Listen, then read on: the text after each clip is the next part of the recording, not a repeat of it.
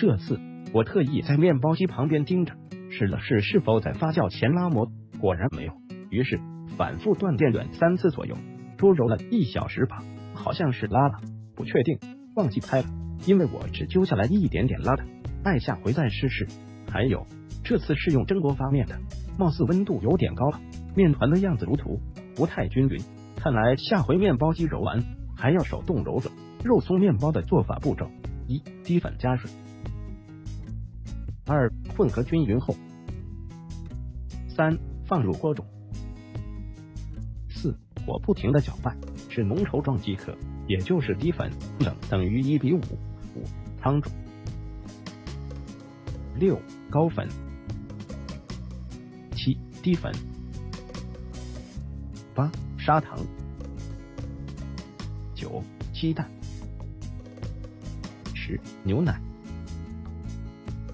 十一黄油，十二盐等，十三将全部的材料，十四除黄油外，十五放入面包机中，十六搅拌均匀，十七放入黄油后，十八继续搅拌至拉出膜，十九揉好的面团取出。放在其他容器中。二十，盖保鲜膜隔水进行第一次发酵，发酵至两倍大。二十一，将发好的面团稍微按压出气。二十二，擀成烤盘大小。二十三，盖保鲜膜进行两次发酵。二十四，将发好的面团刷上鸡蛋液。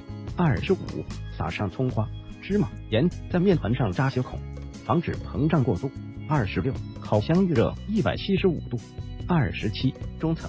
十五到十八分钟，二十八中层，十五到十八分钟，二十九面包烤好后切好所需多块，侧面挤上色拉酱，蘸满肉松即可。使用的厨具：面包机、电烤箱。